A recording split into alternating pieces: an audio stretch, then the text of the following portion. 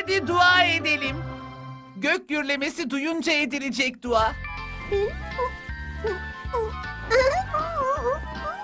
Anne gök gürüyor. Ne yapmalıyız? Ah, çamaşırları almalıyım. Anne öğretmen önce dua edin demişti ama. سبحان الذي يسبح الرعد بحمده والملائكة من خيفته Gök gürültüsü Allah'ı hamd ile tesbih eder. Melekler de onun heybetinden dolayı tesbih ederler. Hadi dua edelim.